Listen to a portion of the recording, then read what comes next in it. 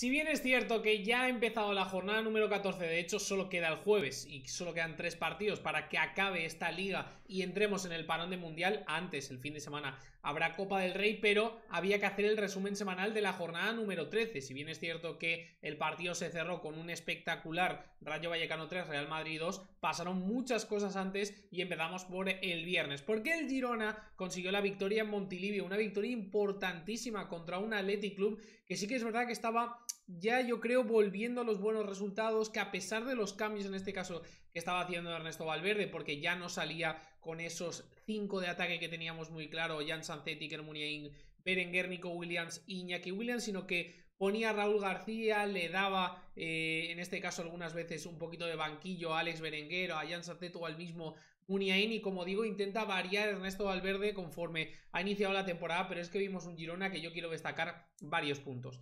Ya lo dije en varias ocasiones, pero para mí Aleix García es el mejor lanzador. Cada vez que el Girona tiene un balón parado, de hecho es el equipo de la liga que más goles hace a balón parado, es que normal, con ese lanzador es absolutamente tremendo. Todos los corners, faltas laterales, eh, centros que vayan con la bota de Aleix García, la verdad que son un peligro inminente en este caso del Girona y para los rivales en área contraria, a pesar de tener una muy buena defensa. Si no, top 3 de pareja de centrales de la liga Geray Álvarez y Íñigo Martínez, y si no, Dani Vivian cuando entra, pues estará por ahí, pero como digo, le generó muchos problemas, uno en balón parado y dos a balones al espacio. La verdad que el Girona aprovechó muy bien sus oportunidades, disparó más a puerta, disparó en general más el Girona que el Athletic Club, y eso no es algo habitual, pero es que se vio un equipo muy contundente en todas las fases del partido, en todas las zonas del campo, y como digo, quería destacar varias cosas del Girona. Alex García, Oriol Romeo, qué equilibrio, qué basculación,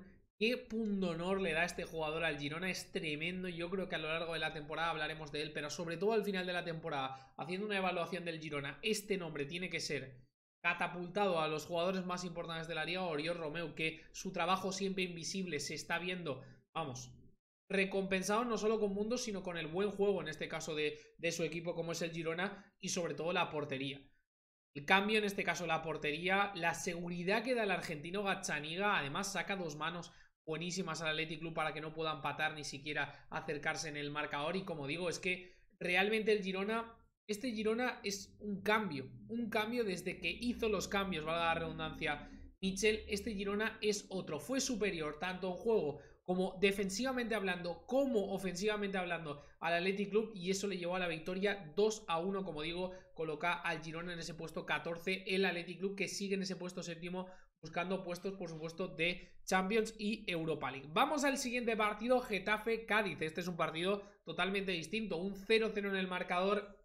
Se vio un partido hasta el minuto 80 muy seco, muy tibio, muy inerte, sin ningún tipo de ambición por parte de los dos equipos intentando aguantar el resultado que por el Cádiz, en este caso, estando fuera de casa, lo entiendo, pero el Getafe, el Getafe, como decía bien su público y su afición, buscamos la victoria, queremos encontrar esa victoria que tanto hace falta. Es que la poca ambición de este equipo es absolutamente tremenda y luego vivimos unos minutos, unos minutos, perdón, absolutamente locos. Una expulsión de Gastón Álvarez para mí bastante justa porque se quedaba Lucas Pérez solo uno contra uno contra el portero. Luego en esa misma acción protesta de Portu se gana la segunda amarilla y se gana la expulsión. El Getafe que se queda con dos menos y a pesar de eso tiene el Getafe la más clara. Después habría otra expulsión también del Cádiz de Luis Hernández. Tres expulsiones en este partido que no iba a ser el único que iba a tener tres expulsiones. Y como digo, luego vimos una acción que podía haber dado la victoria al Getafe, esa falta Benes Unal, que es algo tremendo. El turco tiene cosas en este caso que tienen los grandes jugadores.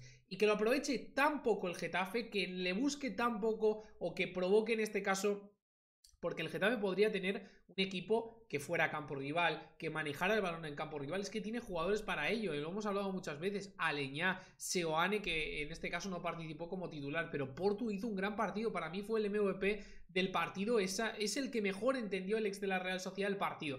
Jugaba por parte derecha el Getafe, que intentó acumular las máximas acciones por ese, por ese franco. Y en este caso, Portu, desborde, equilibrio, eh, velocidad, verticalidad, llego a línea de fondo, saco el centro. Las ocasiones más peligrosas fueron provocadas por este jugador. Pero, como digo, la poca ambición que tiene el Getafe y el Cádiz, que se. Vamos, dijo, con el empate me va bien pues con el empate les va bien a los dos y un puntito que no les salva a ninguno de los dos. El Cádiz que sigue en descenso con 11 puntos, el Getafe que sigue fuera de descenso pero con 14, tampoco es un gran número. Vamos al Valladolid 2, Elche 0 y este partido fue bastante más decantado, perdón, para el equipo de Pacheta que fácilmente, y no exagero, le pudo meter 5 en la primera parte al Elche, pero apareció el santo, al que llaman el santo Edgar Badía. Sin este portero el Elche llevaría tropecientos goles. Es increíble las paradas que saca el canterano del español.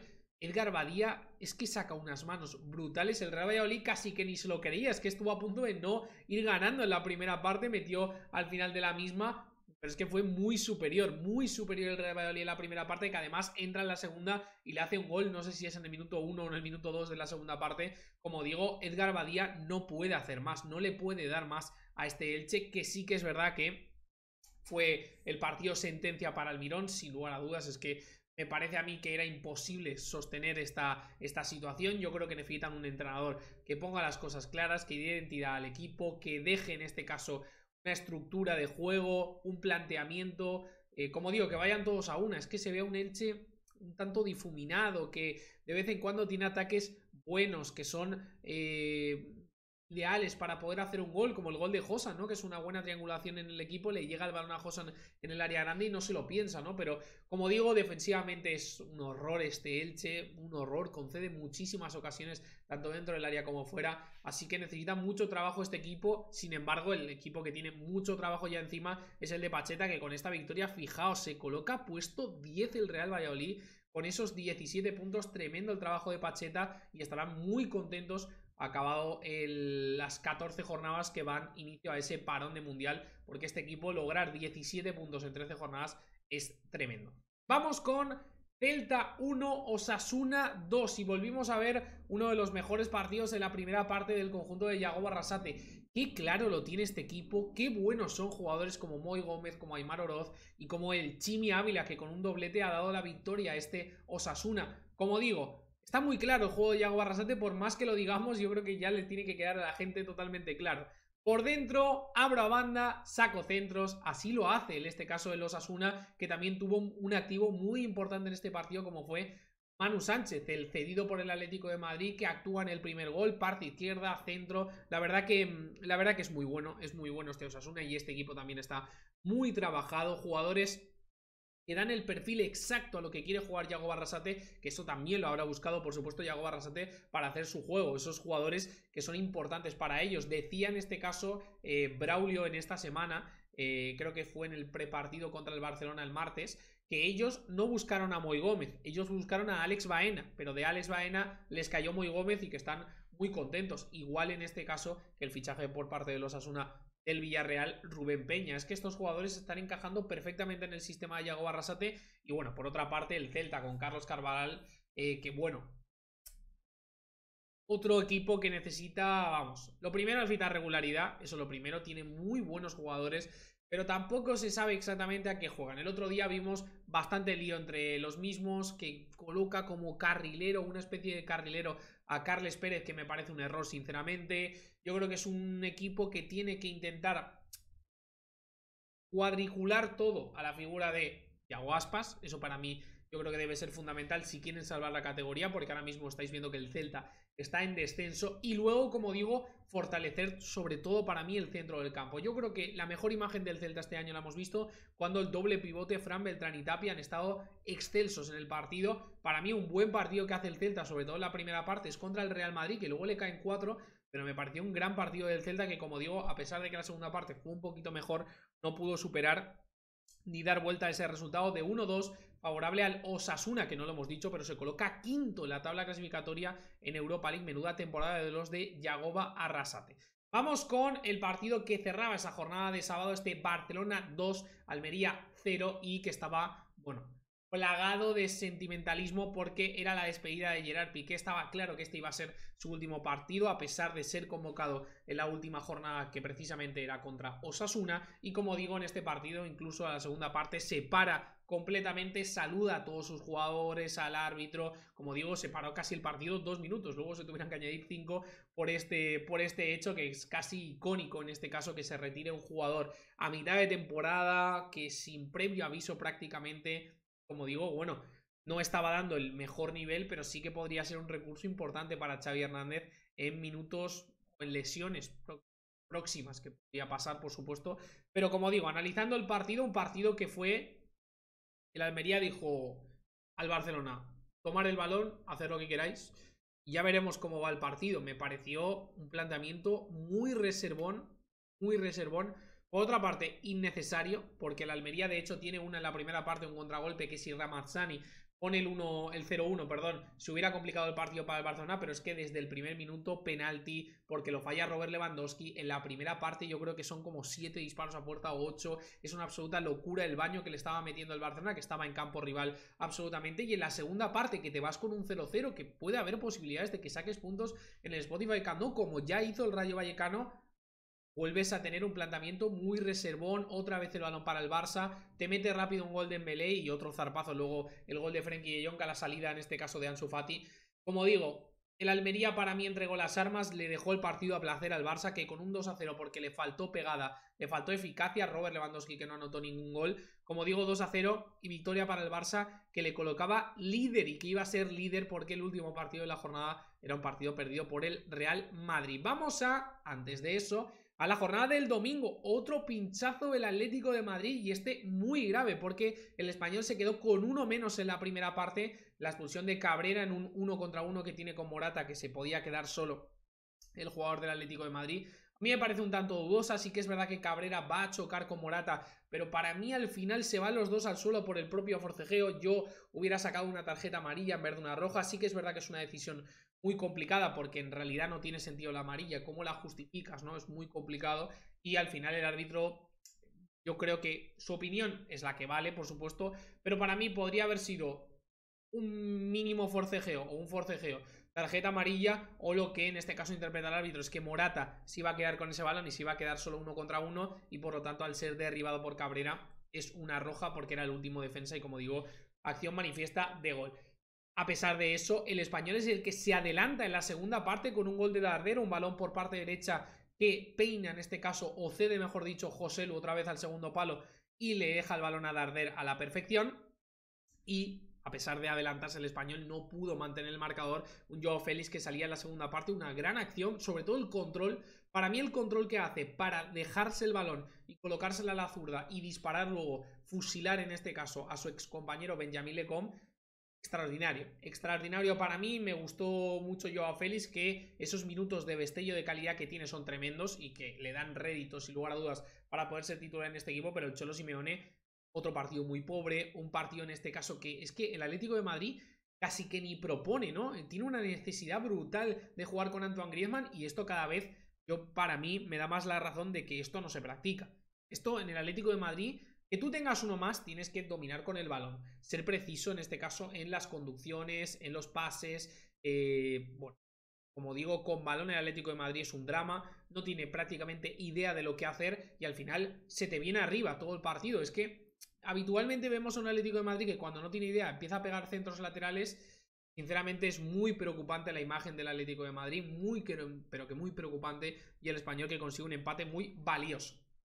Vamos a otro partido similar, está Real Sociedad 1, Valencia 1, pero sí que es verdad que con un pequeño matiz, porque la Real Sociedad se adelanta en el marcador muy rápido, una jugada, yo creo, un poquito rocambolesca y de suerte que tiene el conjunto de Manuel Alguacil, porque es un gol en propia puerta de Guillamón que viene de un resbalón de Titi Correa en la salida de balón. El Valencia que había plantado muy buena cara al principio de los minutos, que tenía el balón, que estaba haciendo una buena presión, que estaba teniendo la posesión del, del balón, como decimos, que es lo que le gusta a Gennaro Gatuso, y la Real Sociedad no estaba encontrando a sus jugadores, una Real que tiene muchísimas bajas, pero en el minuto 13 se va Elustondo, eh, expulsado en una acción, en un duelo con Samulino, las pataditas estas por detrás que paran en el bar y la imagen pues deja clara que puede ser una, una falta agresiva. A mí en el primer momento no me lo aparece. Es un debate, en este caso lo de las tarjetas rojas. De hecho, podéis pasar por mi Twitter, jabatete barra baja YT, que expongo los datos de las cuatro ligas más importantes, Bundesliga, Premier League, la Liga y la Serie A, y veréis la diferencia de tarjetas amarillas y tarjetas rojas entre las ligas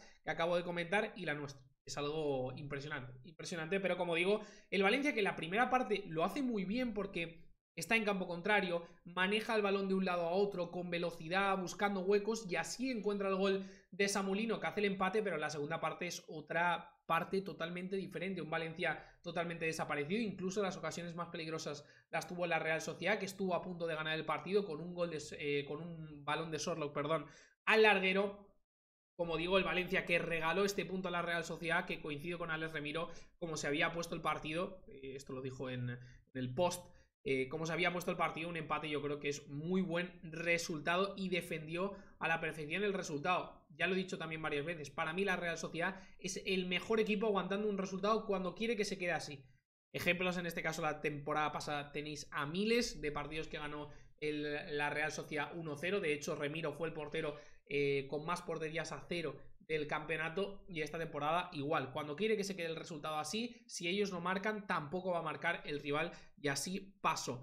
Vamos con Villarreal 0 Mallorca 2 y ya la imagen de la jornada en este caso que es la afición del Villarreal en el Ciudad de Valencia gritando y que vete ya, un Quique Setién que no ha entrado en la mejor manera posible, con empates y partidos perdidos en Conference League, tampoco ha ganado en Liga y además el Mallorca que viene a tu casa a la que es tu casa en, este, en estos meses iniciales de la temporada y que te domina en este caso sobre todo las acciones de peligro, que sí, que tú tienes mucha posesión, pero de una forma, vamos, necesaria, porque las ocasiones no llegan. Es que el Villarreal prácticamente no tiene ninguna ocasión de peligro en el partido y que viene en este caso el Mallorca con Bedán Muriki, con los jugadores de máxima calidad como Dani Rodríguez que hizo un gran partido, pues te dan la ventaja, te dan el 1-0 y luego a Maten Diaye en tres minutos que sale, que nos alegramos un montón porque ha tenido una lesión muy pero que muy grave, cosas que pasan en la vida y que tiene que reponerse y a Maten a los tres minutos marca un absoluto golazo, ya viene también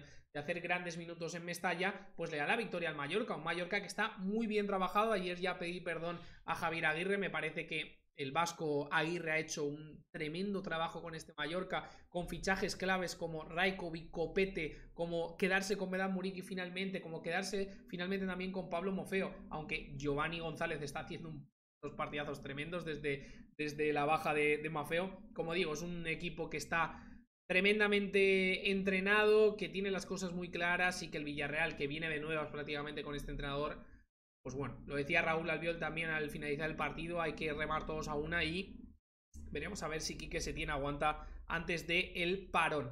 Vamos con el partido que cerraba la jornada de domingo y vamos otra vez con la polémica de las tarjetas rojas, porque este derby sevillano se vio ensuciado por las expulsiones, dos en la primera parte. Para mí la de Montiel es bastante clara, es una acción que va con los tacos por encima de la rodilla, eso tiene que ser roja clarísima, podía haberle hecho mucho daño a Alex Moreno, que le termina impactando. El Betis aprovecha esa superioridad en los minutos posteriores y hace un gol también rocambolesco, muy mala suerte porque salía Jesús Navas sustituyendo eh, a un jugador del Sevilla de campo para ponerse de lateral derecho por la expulsión de Montiel. El rechazo de Gudel le da en Jesús Navas y se cuela en la portería de Yassin Monú, pero es que luego una acción que a punto de acabar la primera parte, en esos minutos que había dado de descuento, Fekir que se está protegiendo, lamentablemente el que está atrás es el Papu Gómez que mide lo mismo o menos que Fekir, se lleva un codazo y además le provoca sangre. Digo lamentablemente que es Papu Gómez porque lo primero, si es Rafa Mir, ni se pita falta, ni es tarjeta amarilla, ni es tarjeta roja. De hecho, el árbitro le saca amarilla y revisa el bar, en este caso le llama al bar, y saca la roja. Digo esto también porque el Papu Gómez al acabar el partido dice que esto es fútbol y que no debería haber sido tarjeta roja. El mismo Papu Gómez lo dice. Tenemos un problema con las tarjetas rojas, tenemos un grave problema. Y luego no solo eso, sino que una acción también de mala suerte, Borja Iglesias que intenta recuperar el balón, le pisa por detrás el tendón de Aquiles a un jugador del Sevilla y sale expulsado. A partir de aquí cambia el partido tremendamente, pero quiero decir que el Sevilla planteó el partido a la perfección. Hizo un planteamiento excelso, excelente, magnífico Jorge Sampaoli que dijo, el Betis no va a correr ni una sola vez cada vez que tenga el balón algún jugador importante en campo contrario, hago falta, paro el juego y a partir de ahí intento yo tener el balón. Es que lo planteó perfecto. Lo planteó perfecto. Tiene dos ocasiones de peligro. Una que falla Hitor Rival y otra acción, si no me equivoco, que Fekir manda el lateral de la red en la primera parte. Pero a partir de ahí, es que el balón era del Sevilla. El planteamiento le había ganado Jorge Sampaoli para mí a Manuel Pellegrini. Veíamos algunos jugadores del Betis que tampoco estaban en el mejor estado de forma. Yo vi a un Guido un poquito mal venía de lesión y era duda, por supuesto. Pero como digo, tras la expulsión de Borja Iglesias, el partido cambia, el Sevilla se hace con el balón, el Sevilla está prácticamente en campo rival y yo, mientras comentábamos el partido, que lo hicimos a narración en directo en twitch.tv barra decía, Gudel tiene ganas de disparar, Gudel tiene ganas de disparar, ya marcó en el Visit Stadi en Mallorca y así lo hizo. Probó una vez, la mandó fuera, probó la segunda, la clavó a la escuadra y no solo eso, sino que tuvo otro remate desde la frontal del área al larguero y la última jugada del partido es un paradón de Claudio Bravo, el Sevilla, que se mereció ganar tanto por el planteamiento inicial como por en este caso, perdón, por las expulsiones y por la superioridad en la segunda parte, pero claramente el derby sevillano se lo cargó el árbitro, se lo cargó el VAR, unas expulsiones que bueno, cositas, cositas para mí, la de Montiel claramente, y luego hay que revisar todo el reglamento, no puede ser que estemos todas las jornadas igual, no puede ser, 57 rojas en lo que llevamos de liga, 57 rojas, no puede ser. No puede ser. No puede ser. La liga, la segunda liga con más tarjetas rojas, con los mismos partidos prácticamente, es la Serie A con 26. Para que os hagáis a la diferencia. Y es que perjudica mucho al espectáculo. Y acabamos con el lunes de fútbol en Vallecas, porque esto sí que fue un tremendamente espectáculo y que le vino muy bien a ese. Bueno, esa obra solidaria, podríamos decir, que hizo la Liga Santander con el Banco de Alimentos, que cada gol mil euritos al banco de alimentos, tanto en primera división como en segunda, esta jornada y la 14 en este caso, que es la que se está jugando de manera intersemanal en lo que llevamos de. Bueno, hoy estamos a jueves para que lo sepáis, así que, pues hoy jueves que quedan tres partiditos. Así que muchos goles en el campo de Vallecas en los primeros minutos. El Real Madrid que hizo una de las peores primeras partes, sin lugar a dudas. Para mí, los peores 30 minutos que he visto del equipo de Carlo Ancelotti esta temporada. El Rayo que anota rápido, muy rápido el gol de Comesaña al minuto 6 y que el Rayo muy cómodo en el partido, tenía el balón, una presión que yo lo decía, no era intensa, no era bloque alto, no te volvías loco como el partido, por ejemplo, que sí que se vuelve locos contra el Valencia, provocando muchos errores en salida de balón. Sabían que tenían que esperar, pero hicieron un pasito adelante porque estaban por delante de la zona del centro del campo y como digo, presionando a un Real Madrid que provocó muchos errores, muchas pérdidas. Sin Tony Cross lo pasó yo creo que un poquito mal ahí en el centro del campo. Y el Rayo que estaba muy cómodo, pero el Real Madrid que en los peores momentos, en los peores minutos, va y te marca dos goles. Sentido, remonta el Real Madrid 1-2 y lo mejor para mí del partido que pasó para el Rayo es que reaccionó muy rápido el equipo de Andoni Iraola con el gol de Álvaro García. Todo esto a pesar de la mala primera parte del Real Madrid, se va al descanso 2 a 2 y yo digo, guau, el Real Madrid ahora en la segunda parte aprieta, va por el resultado, va a ganar porque quiere mantener el liderato mucho menos fue así. El Rayo Vallecano que siguió manteniendo la posición del balón, que siguió manteniendo el dominio más que la posesión, porque yo le veía al Rayo que no padecía, en ningún momento estaba muy cómodo, y no solo eso, sino que un contragolpe, que es lo que más le gusta al Rayo Vallecano, tres toques, le llega el balón en largo a Álvaro García, que provoca el penalti de Carvajal, que hizo un partido horrendo, horrendo, sin lugar a dudas, el, el lateral de, de Leganés, y como digo, pues esto hace el gol de Oscar Trejo que se tuvo que repetir. Thibaut Courtois que se paró otro penalti como la, como la jornada de Champions, la última jornada que se lo para el Celtic, pero dio dos pasitos adelante, estaba fuera de la línea y además Carvajal entró antes de que se lanzara el penalti por parte de Oscar Trejo y luego finalmente ya el Chocota Trejo que hizo el 3 a 2 y definitivo en el partido, mucha polémica porque se habló mucho de esas provocaciones que está recibiendo Vinicius, lo sacó del partido sin lugar a dudas Iván Bayú, Iván eh, Vinicius, perdón, no estuvo, Rodrigo no estuvo, el mejor del Real Madrid fue Asensio, que salió de titular, pero Valverde no estuvo, Modric no estuvo, la defensa muy tibia, pero que muy tibia y como digo, una de las peores imágenes del Real Madrid en liga. Con esto acabamos el resumen de la jornada número 13, espero que os haya gustado. Fijaos el Barça que sigue, en este caso se coloca, perdón, mejor dicho, líder de la Liga Santander, el que sigue en descenso y el que sigue último es el Elche que ha cambiado de entrenador. Estará el secretario técnico es Marañón, creo que se llama, no me ahora. No me va a salir ahora, pero vamos, va a buscar el Elche sin lugar a dudas eh, en ese banquillo. Ya han sonado varios nombres, de hecho Paco López ha firmado o firmó en el día de ayer con el Granada, así que el nombre que más suena sin lugar a dudas en la ciudad ilicitana es Bordalas. Veremos a ver lo que pasa, pero como digo, este es el resumen. Ya sabéis, si os ha gustado, dejar un like y un comentario y por supuesto seguir todos los canales. YouTube, suscribirse, totalmente gratuito. Twitch.tv barra jabatete, seguir el canal totalmente gratuito y por supuesto las redes sociales, Instagram y Twitter, jabatete barra baja YT y Tik y TikTok, perdón, Tik TikTok, arroba jabatete con contenido exclusivo. Así que chao, chao, chao.